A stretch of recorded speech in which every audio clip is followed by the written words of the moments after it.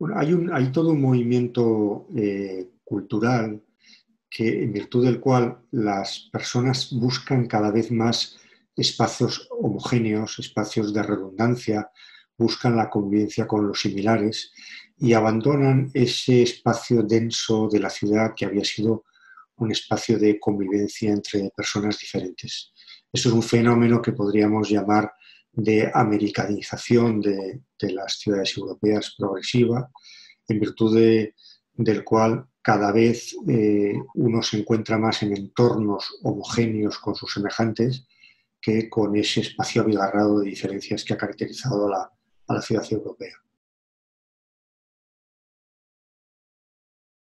Yo creo que lo más importante a la hora de diseñar la ciudad es eh, guiarse por el imperativo de que haya mezcla,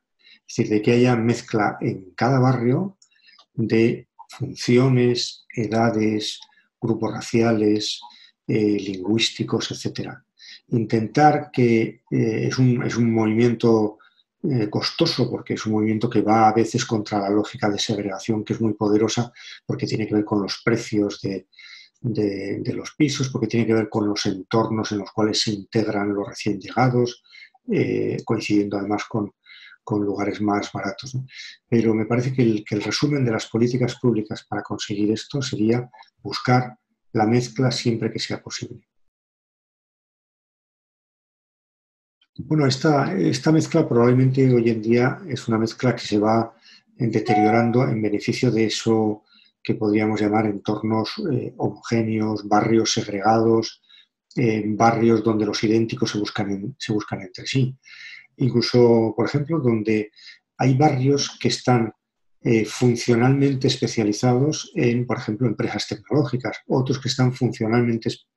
eh, especificados en, en, industria, etc.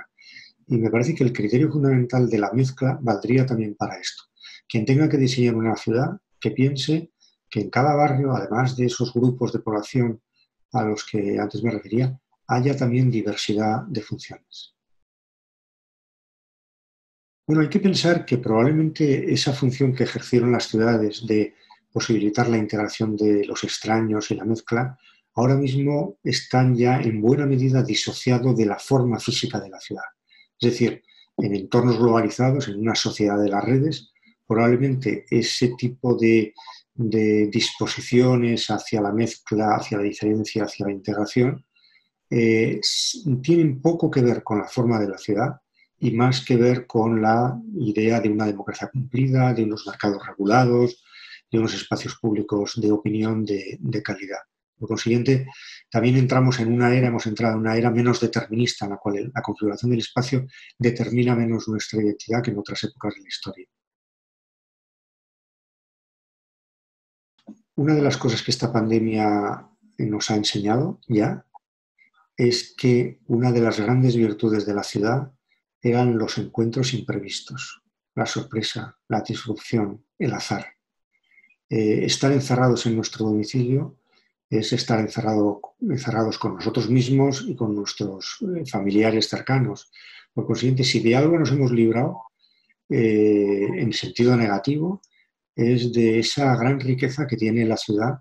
que, nos hace toparnos con gente azarosamente, descubrir la variedad, la diversidad, la riqueza de una sociedad como la nuestra. Y creo que esa diversidad, esa, riqueza va a ir a más porque hay más movilidad, porque,